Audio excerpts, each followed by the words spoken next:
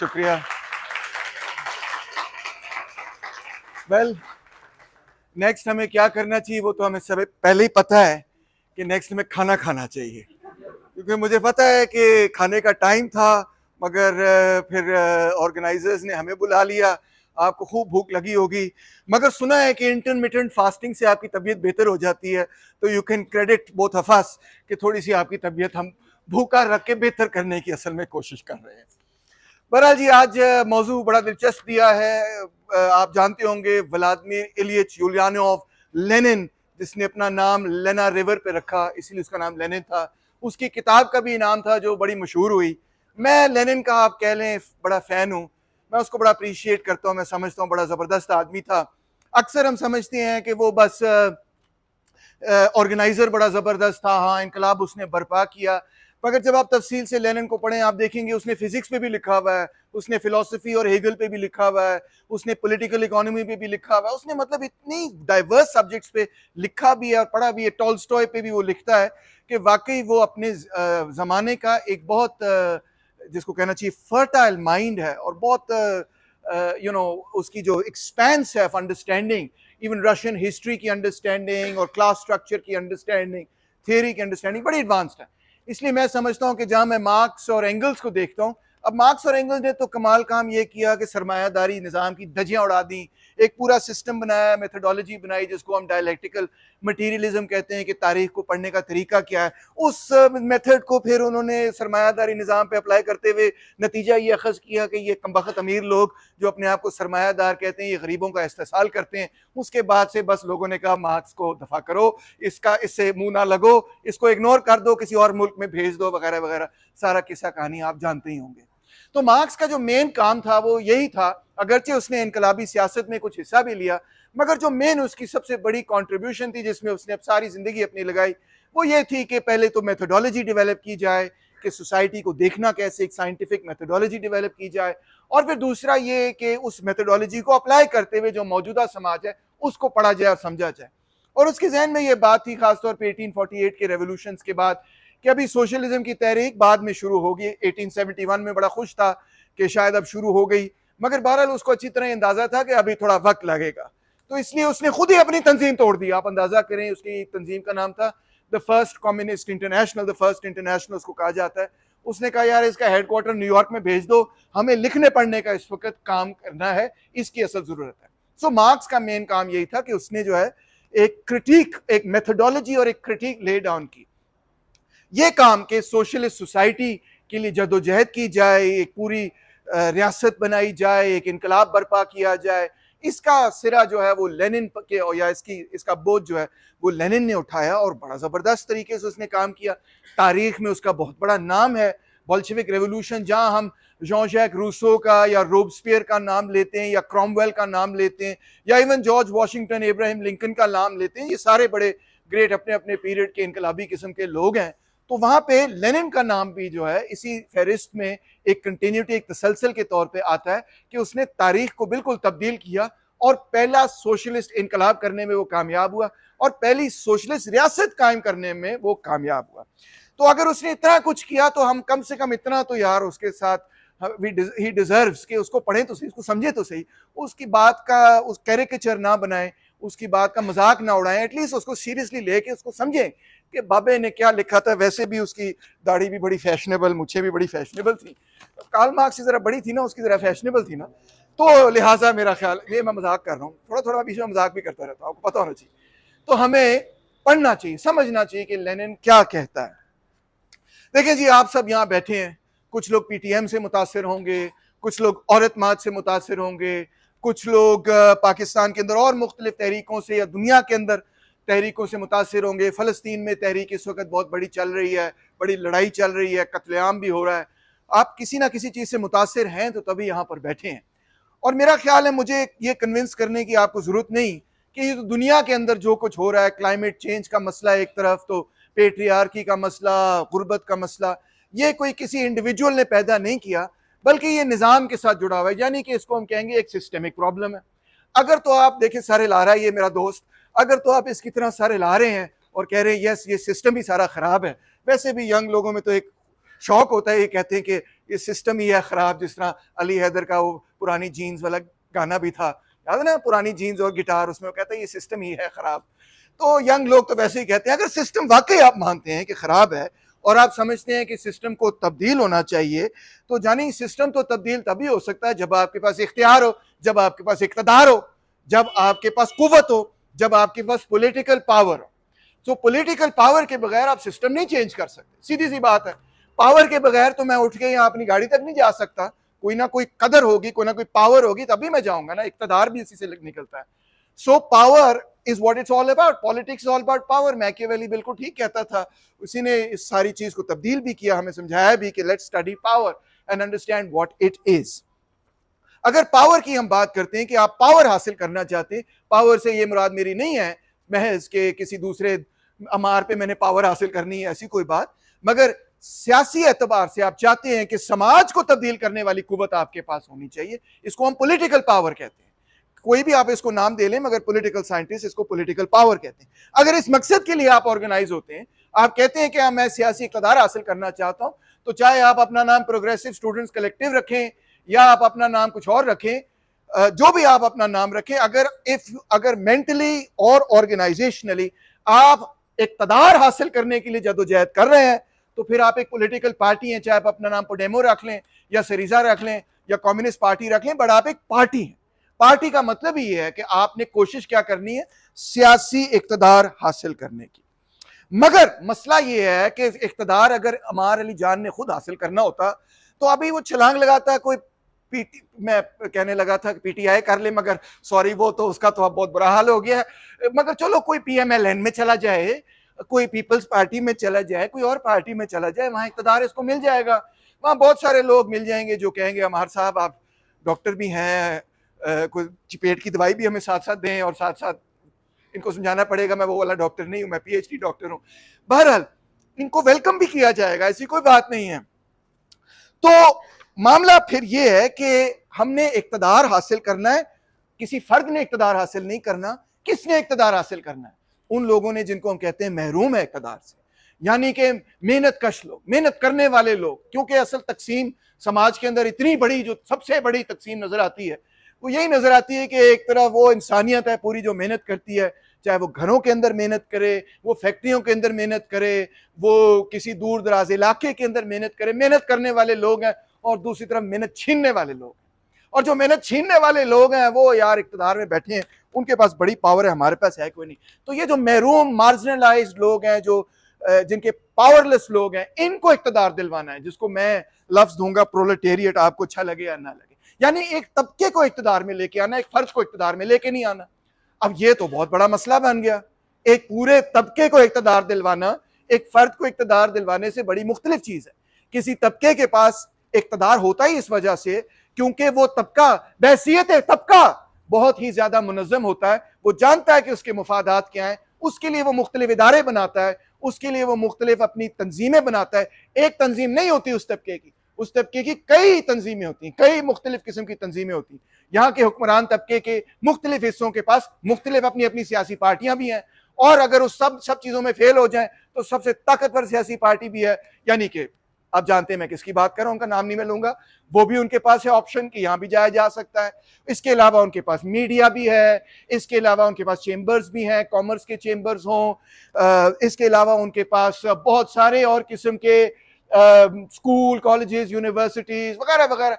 एक पूरी रियासत है भाईजान उनके पास, ठीक है? और रियासत के कितने सारे इदारे हैं, आप देखें तो the ruling class is very well organise तो सवाल ये पैदा होता है कि अगर प्रोलेतारिया को इकतदार दिलवाना है प्रोलेतारिया ने अपने हकूक हासिल करने, निज़ाम को तब्दील करना है तो ये कैसे मुमकिन होगा? अब प्रोलेतारिया खुद भी लड़ती है, और जो भी गरीब होता है, जो भी मजलूम होता है, उसको हमारे लिए जान आके बताए या ना बताए उसको कम से कम ये पता होता है कि मेरे हालात बड़े खराब हैं, मैंने उनको बेहतर करना लिहाजा, लोग लड़ते हैं, तारीख में लड़ते आए हैं। स्पार्टिकस का नाम आपने सुना होगा, थॉमस मुंजर का आपने नाम नहीं सुना होगा, वो बड़ा ज़बरदस्त क्रिश्चियन किस्म का कम्युनिस्ट था, वो कहता था क्रिश्चियनिटी है ही कम्युनिस्ट अंदाज़ा करें, एना बैप्टिस्ट का नाम आपने नहीं सुना होगा, वो भी ये कहते थे, और भी बहुत सारे लोग हैं, बड़ी स्ट्रगल्स होती रही। मजदूर तबका जो है, वो अपनी तनख्वाह बेहतर करने के लिए, उसको किसी बड़े इंटेलेक्चुअल की ज़रूरत नहीं है। कि जन्नत बुखारी आके उनको बताएँ कि जी, आपने अपने हकूक के लिए लड़ना है। वो खुद जानता है, वो कहता है, मेरी साहब जी तनख्वाह बता दो बहुत बुरे हालात है। इतना तो वो, इतना तो हर बंदा जानता है ना। तो वो इन चीज़ों के लिए लड़ता है और लड़ सकता है और अपनी तंजीमें भी बनाता है और खुदरो तरीके से तंजीमें बनाता है। बल्कि यही नहीं, वो अपनी सियासी पार्टियाँ भी बना लेता है। चार्टिस्ट तहरीक जो थी, चार्टिस्ट पार्टी जो थी, वो पहली यूरोप, सॉरी हाँ यूरोप की पहली वर्किंग क्लास पार्टी थी जो मजदूरों ने खुद बनाई। और उन्होंने ये कहा कि हमें वोट का हक दिया जाए। ये सब चीज़ें मजदूर स्पॉन्टेनियसली हासिल कर लेता है। मगर मजदूर और महरूम लोग जो हैं, वो महरूम हैं जहाँ मुआशी एतबार से तो वहाँ और एतबार से भी उनको महरूम रखा जाता है। उनको तालीम से भी महरूम रखा जाता है। सेहत की सहूलियात से महरूम रखा जाता है। उनको कल्चर से महरूम रखा जाता है। उनको दुनिया, उनको साइंस के अलूम से महरूम रखा जाता है। उनको आर्ट से महरूम रखा जाता है। वो कहते हैं, भाई, आपने क्या करनी है आर्ट पढ़ के या बेथोवन को समझ के? आपका काम तो ये है कि मेरी फैक्ट्री के अंदर फलानी मशीन चलानी है। इतनी तालीम हासिल करो जो उससे वो मशीन चला सके आप। इससे ज़्यादा तालीम आपको दिलवाने की ज़रूरत नहीं है। हुक्मरान तबका कहता है, क्यों? क्योंकि तालीम देने के लिए मेरे वसायल इस्तेमाल होंगे। तो मैंने तो वसायल वैसे इस्तेमाल करने जिसमें मुझे सबसे ज़्यादा फ़ायदा है, कैपिटलिज्म का असूल भी ये है। तो वो ये कहते हैं कि, भाई, आपको उतनी ही तालीम देनी जितनी आपकी ज़रूरत है। और आपकी अगर ज़रूरत यह है कि आपने मशीन चलानी है तो इतनी ही तालीम बहुत है। मजदूर को इससे ज़्यादा तालीम आवाम को इससे ज़्यादा तालीम देने की ज़रूरत ही नहीं। तो लिहाजा आपने देखा, पाकिस्तान के अंदर भी आप देख सकते हैं कि हुक्मरान तबके ने अपने स्कूल कॉलेजेस, अपने तबके के लिए स्कूल कॉलेजेस अलहदा बनाए हुए वहाँ पे वो एक किस्म की ब्रॉड एजुकेशन देते हैं। वो कहते हैं, चाहे कोई चीज़ इस्तेमाल की हो या ना हो, आपने सीखनी है। ताकि आपका एक ब्रॉड विजन हो, सोसाइटी, हिस्ट्री हर आर्ट के बारे में, हर चीज़ में आपका म्यूज़िक भी वहाँ पे सिखाते हैं, हर चीज़ सिखाते हैं। और फिर वो दूसरी तालीम है जो अवाम नास के लिए रखी गई है, और उसमें वो कहते हैं, क्या करना है ये सब चीज़ें पढ़ के? बस नौकरी हासिल करने के लिए जो जो एजुकेशन चाहिए, उस तक फोकस रखो, उससे आगे नहीं जाना। इसका मतलब ये है, जहाँ पे इकोनॉमिक डेप्रिवेशन प्रोलेटेरिएट या मार्जिनाइज या महरूम लोगों का मुकदर है, इस समाज के अंदर, इस तबकाती इस्तेसाली समाज के अंदर, वहाँ पे स्पिरिचुअल और एजुकेशनल और इंटेलेक्चुअल महरूमी भी उनको महरूमी में भी उनको रखा जाता है। अब इस महरूमी को भी हमने खत्म करना है और दूर करना है। अब कुछ लोग पैदा हो जाते हैं और अक्सर वो उसी तबके में से मैं अपने फेवरेट मजदूर स्टूडेंट लीडर की बात सुन रहा था, हैदर अली भट्ट की बात सुन रहा था, वो कह रहा था, स्टूडेंट भी एक इनकलाबी एजेंट है। मुझे उसकी बातें बड़ी इनकलाबी लगती हैं, अच्छी लगती हैं। क्यों? वो उसने वजह बताई, उसने कहा, क्यों? क्योंकि उसका किताब से रिश्ता बनता है। मुझे बड़ी प्यारी ये बात लगी। एक सेंस में स्टूडेंट जब स्टूडेंट होता है ना कुछ अरसे के लिए वो डी क्लास हो जाता है। डी क्लास से मतलब ये है वो क्लास ग्रुप से बाहर निकला होता है। इससे मेरी मुराद ये है कि ना जब आप स्टूडेंट है ना तो आपने काम करना है ना आपने कमाना है अम्मी अबू ने कमा के आपको दे दिया ठीक है या आप स्कॉलरशिप पे पढ़ लिया या अगर लकी हो गए तो रियासत ने आपको कोई सब्सिडाइज स्कूल के अंदर आप पढ़ रहे हैं ठीक है? सो so, आपने इकोनॉमिकली अर्न करने की आपको ज़रूरत नहीं है। और दूसरा ये आप पे कोई ज़िम्मेदारी उस वक्त नहीं है दूसरी तरफ़ आपके बीवी बच्चे नहीं है या आपके खौमन नहीं है या जो भी। सो इस वजह से आप थोड़ी देर के लिए मुआशी मजबूरियों से निस्बतन समाज के मुकाबले में निस्बतन बचे रहते हैं वो चार पाँच साल, क्योंकि आपका काम यह है कि आपने पढ़ाई करनी। शायद बहुत सारे लोग इस आजकल के ज़माने में ये मामला ना हो बट इन थियरी एटलीस्ट ऐसे है कि आपको, आप पे मुआशी बोझ आपसे हटाना है ताकि आप पढ़ सके, ये मसला है। अगर आपको फौरी मुआशी बोझ आ जाए, जैसे मजदूरों के बच्चों पर आता है जो फैक्ट्रियों के अंदर बारह साल की उम्र से काम करना शुरू कर देते हैं तो फिर वो तालीम हासिल नहीं कर सकते। उनके पास वक्त ही नहीं होता। तो ऐसे में जो इल्म आप हासिल करते हैं एज स्टूडेंट्स वो इल्म बहुत ही कीमती इल्म है। वो बहुत ही इंपॉर्टेंट इल्म है। चाहे वो इनकलाबी हो डायरेक्टली मार्क्सिज्म का इल्म हो, या वो चाहे मौसीकी का इल्म हो, या किसी चीज़ का भी इल्म हो। हर इल्म जो है, सारा इल्म जो है, वो एक दरिया की तरह है। एक ही समुद्र में उसने उतरना होता है। वो एक दूसरे के साथ हमेशा जुड़ा होता है। जिस बंदे की आप कॉग्निटिव एबिलिटी एक फ़ील्ड में डेवलप कर देते हैं, वो दूसरी फ़ील्ड के अंदर भी जो है महारत हासिल करना उसके लिए बा आसान हो जाता है, कुछ दर्जे बेहतर हो जाता है। तो अब एक तरफ़ है मजदूर तबका, जो कि खुद रो तरीके से अपने लीडर भी बनाता है फैक्ट्री के अंदर जब मुआशी लड़ाई होती है, जब मसला होता है, उसके लीडर खुद पैदा होते हैं, हमने नहीं पैदा किए, वो खुद पैदा होते हैं। इनको मैं कहता हूँ the vanguard of the working class ये मेहनत कश तबके का वैन गार्ड है। ये मेहनत कश तबका खुद अपना वैन गार्ड पैदा करता है। लतीफ अंसारी को हमने नहीं पैदा किया, वो खुद पैदा हुआ। इरफान अली को हमने नहीं पैदा किया, वो खुद पैदा हुआ। मिर्ज़ा इब्राहिम जो है, वो वर्किंग क्लास में से खुद पैदा हुआ स्ट्रगल में पैदा हुआ, अपने तबके के लिए लड़ते लड़ते पैदा हुआ। बहुत सारे इस तरह के लीडर हैं, रोज़मर्रा पैदा होते हैं, इतनी बड़ी अभी जो हड़तालें चल रही हैं, आप देखें टीचरों की, उसमें से लीडरशिप एक टीचरों की नई पैदा हो रही है। तो ये खुद पैदा होते हैं। और दूसरी तरफ़ एक ऐसा इंटेलेक्चुअल वैनगार्ड पैदा होता है जो कहता है, ये सब कुछ जो हमें पढ़ाया जा रहा है, ये दर हकीकत एक छोटे से तबके के मुफादात के लिए पढ़ाया जा रहा है। और इस सबसे मैं बगावत करता हूँ, और हो सकता है मुझे अपने आप से, अपने तबके से, अपनी फैमिली से, अपने रिश्तेदारों से भी उस मकसद के लिए बगावत करनी पड़े और मैं करने के लिए तैयार हूँ, क्योंकि ये पूरा निज़ाम ही बकवास और मैं अपने आप को जोड़ना चाहता हूँ किसके साथ मिनिस्टर्स तबके के साथ। तो ये जो रेवोल्यूशनरी इंटेलिजेंसिया वैसे तो इंटेलिजेंसिया बहुत होता है ये रेवोल्यूशनरी इंटेलिजेंसिया उस ऑर्गेनिक वैनगार्ड या इंटेलिजेंसिया के साथ जुड़ने की ख्वाहिश रखता है। और दोनों अपनी अपनी स्किल्स लेकर आते हैं इस तहरीक के अंदर। जो रेवोल्यूशनरी इंटेलिजेंसिया है वो दुनिया की जो लर्निंग है जिससे मजदूर तबके को महरूम रखा गया है वो अपने साथ लेकर आता है। मजदूर तबके के, के लिए लेकर आता है और मजदूर तबके को वो चीज़ें सिखा सकता है जो मजदूर तबका अपने तबकाती ग्रूव में रहते हुए नहीं उसके पास एक्सेस ही नहीं है। वो नहीं, उसके पास मौका नहीं उसको दिया गया कि वो सीख सके। और रेवोल्यूशनरी इंटेलेक्चुअल अपने तबके से टूट के, जब मेहनत कश तबके के साथ जुड़ता है तो उसका भी फ़ील्ड विजन इतना ब्रॉडन होता है कि यार मैं अपने बबल में रह रहा था लम्स वाले बबल में, और अब देखो जब मैंने मेहनत कशों के हालात देखे, उनकी स्ट्रगल्स देखी तो मेरी आँखें खुली। मुझे समझ आया कि असल में दुनिया रहती किस तरह से। सो ये जो कनेक्शन बनता है, एक तरफ़ रेवोल्यूशनरी इंटेलेक्चुअल्स का, और दूसरी तरफ़ vanguard of the working class का ये एक किलर कॉम्बिनेशन है। लेनिन कहता है, मैं नहीं कह रहा लेनिन कहता है, ये किलर ऐसे ऐसे लफ्ज नहीं वैसे वो इस्तेमाल करता, ये थोड़ी स्लैंग में यूज़ कर रहा हूँ जो आप लोग भी यूज़ करते हैं। कहते हैं, यार this is a winning combination ये एस है जनाब, ये होल इन वन है जनाब, ये छक्का मार दिया जनाब किलिंग कॉम्बिनेशन है। कमाल चीज़ है। क्यों कमाल चीज़ है? जो इनकी महरूमी, वो यहाँ से पूरी, जो इनकी खबास्ते वो वहाँ से पूरी। या और उसके नतीजे में एक तहरीक ऐसी बनती है जो कि वाकई ये एबिलिटी रखती है कि वो हुक्मरान तबके को चैलेंज कर सके।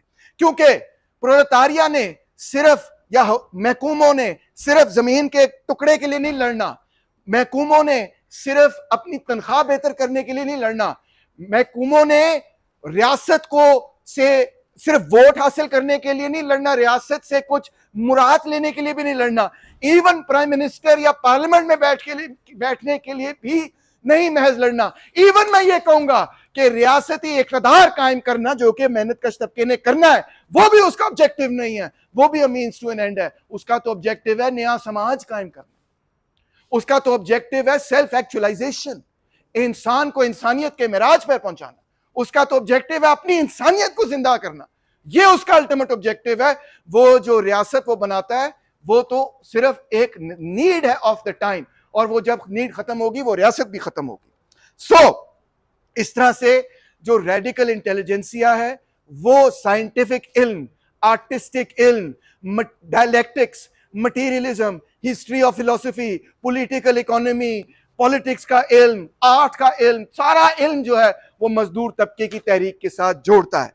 और दूसरी तरफ़ साथ ही साथ ये सबक सिखाता है कि इस निज़ाम में रहते हुए कभी भी तुम्हारे साथ इंसाफ नहीं होगा, तुम्हारा इस्तेसाल होगा।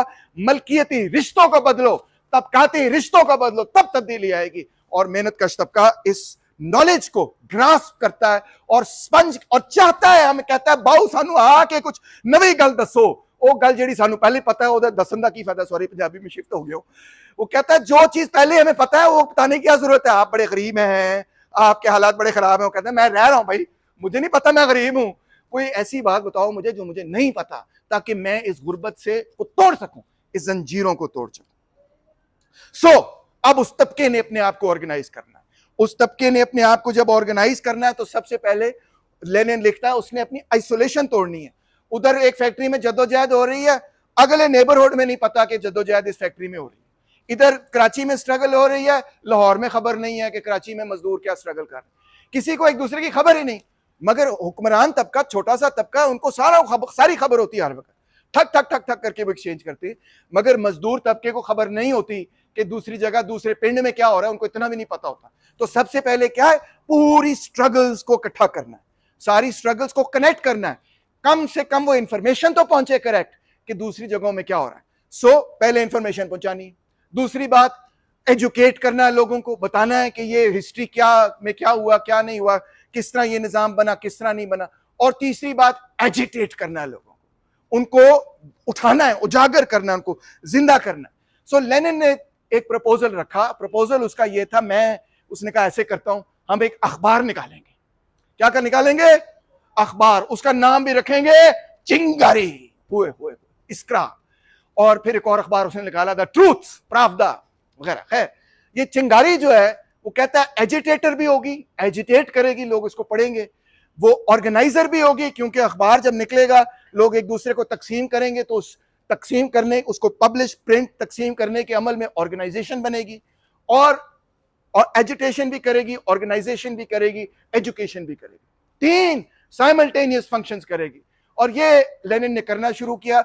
मुल्क से वो बाहर चला गया, उसको एग्जाइल होगी। पहले तो उसको जेल होगी साइबेरिया भेज दिया।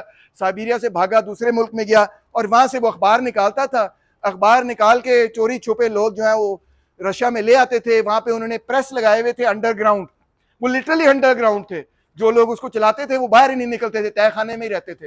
वहाँ वो रिपब्लिश करके लोगों में सर्कुलेट करते थे। इस तरह उन्होंने मार्क्सिस्ट लिटरेचर फैलाना शुरू किया। और इस तरह उन्होंने और बहुत सारा लिटरेचर फैलाना शुरू किया। और जो जार की सीक्रेट पुलिस थी उस जमाने की, वो तलाश करती थी कि कौन लोग हैं जो अखबार लेके आ रहे हैं। उस जमाने के अंदर ऐसा कोई लिटरेचर पब्लिश करना इलीगल था। टोटली इलीगल था मार्क्सिस्ट लिटरेचर इस किस्म का पब्लिश करना। तो वो तलाश करते थे। तो लेनिन ने ये कहा, वो बड़ी आसानी से निकाल लेते थे, क्योंकि हमारे लोग बड़े peace love and happiness type लोग होते थे।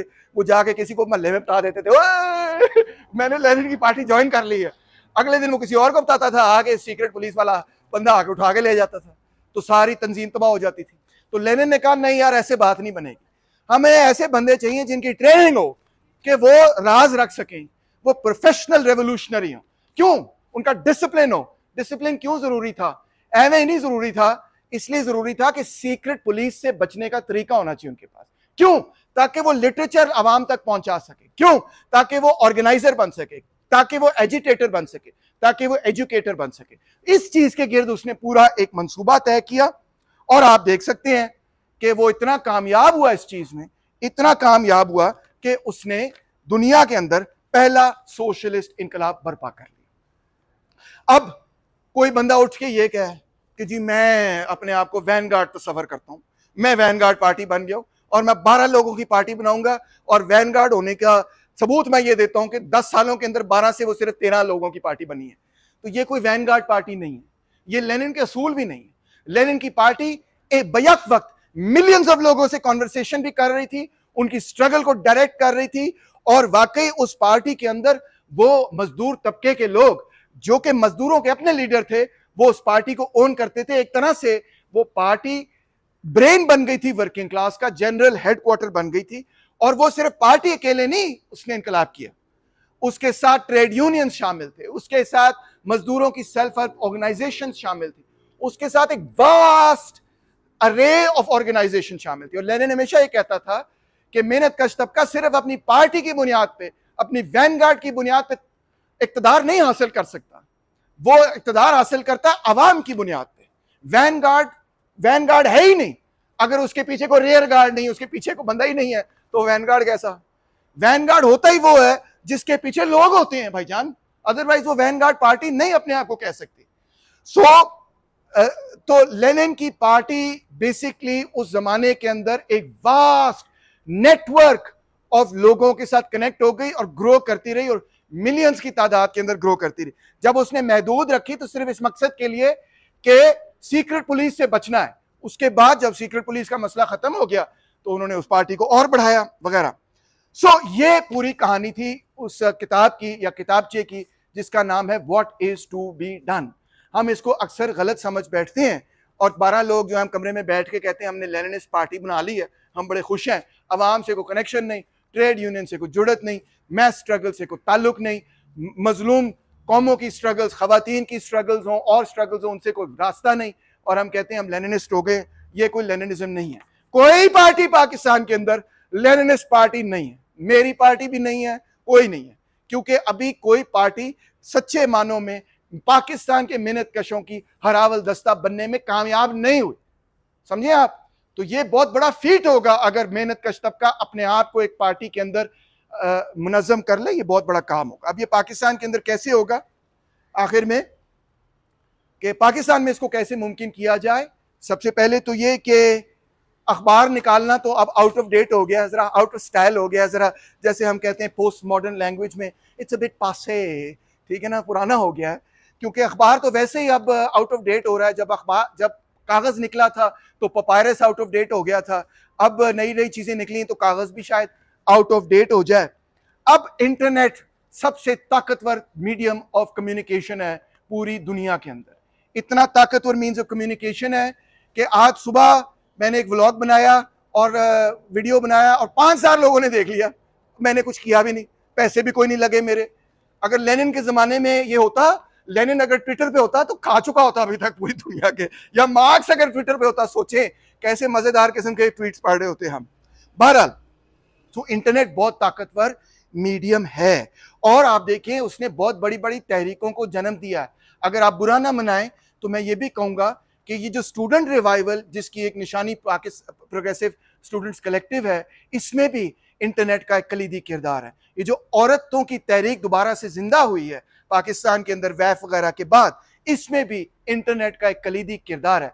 ये जो पीटीएम इतनी ज़बरदस्त बड़े पैमाने पर सामने आई और लो, और रियासत हैरान हुई, उन्होंने कहा इतनी बड़ी ऑर्गेनाइजेशन कैसे हो सकती इतनी जल्दी? तो ये आज की कम्युनिकेशन रेवोल्यूशन का नतीजा है कि एक बात इतनी तेज़ी से फैलती है कि लोग उस पर तेज़ी से ऑर्गेनाइज होते हैं। सो so, हम समझते हैं बहुत कम है मगर हमें इसे घबराना नहीं चाहिए डरना नहीं चाहिए। माओ कहता है जो आपकी वीकनेस है उसी को अपनी स्ट्रेंथ बनाए। अगर आप छोटे बॉक्सर हैं तो नीचे नीचे घूम के जो है ना पंच किया करें। अगर आप लंबे बॉक्सर हैं तो पीछे पीछे रह के पंच किया करें। हर चीज़ जो है ना उस हर वीकनेस को अपनी स्ट्रेंथ बनाया जा सकता है। हम भी अपनी वीकनेस को अपनी स्ट्रेंथ बना सकते हैं। हमारे नंबर्स थोड़े हैं डजेंट मैटर इसका मतलब है हम ज़्यादा टाइटली वेल ऑर्गेनाइज हो सकते हैं. इसका मतलब है हम ज़्यादा वेल अच्छे कोऑर्डिनेटेड तरीके से काम कर सकते हैं. फ़र्ज़, मकसद क्या है मेरी सारी बात कहने का? बात का खुलासा यह है कि to win in this big battle against capitalism against imperialism against patriarchy against racism against national operation हमें we have to win the battle of ideas ख्यालात के मैदान में हमें जीतना होगा। ये हमारी आज की तारीख में, आज के जमाने की तारीख में जो हमारा तारीखी फरीजा है, सबसे पहला वो ये है we have to win the battle for ideas और इसके लिए हमारे पास एक ऐसा हथियार है, जो ना मार्क्स के पास था, ना स्पार्टिकस के पास था, ना लेनिन के पास था, ना माओ के पास था, ना किसी और के पास था। वो है आज के कम्युनिकेशन रेवोल्यूशन जिससे हम अपने ख्याल बड़ी तेज़ी से लोगों तक पहुँचा सकते हैं और आप लोग इसको मुमकिन बना सकते हैं, क्योंकि जितने वो उम्र के लेफ्टिस्ट हैं जो मेरे से बड़े हैं, उनको ये सिखाना कि फेसबुक कैसे चलता है, एक अजाब है। उनको आदत नहीं they not native to the technology मगर you are native to the new technology इसलिए मैं समझता हूँ, घबराना नहीं, जिस तरह इमरान खान कहता है घर वो जेल में बैठा है। मगर बहरहाल, उसने बात ठीक है घबराना नहीं। मैं समझता हूँ अगले ही इस सौ सालों के अंदर इस सरमायादारी निज़ाम का किला कुम्मा होने लगा है। ये ख़त्म होने लगा है निज़ाम। और मैं आपको एक, मैं भी पेशन गोई कर देता हूँ। कहीं लिख लेना, तैमूर रहमान सेट एंड फिर चेक करना वेदर इट कम्स ट्रू वो ये है कि ये जो कम्युनिकेशन रेवोल्यूशन है, इसने इस निज़ाम को नहीं बचने देना। ये एक इनकलाब बर्पा ऑलरेडी आइडियाज़ का कर रहा है, और इसने मजीद करते चले जाना है। और इस निज़ाम के जो final nail in the coffin है, वो इस नए कम्युनिकेशन रेवोल्यूशन के नतीजे में होगी। Thank you so much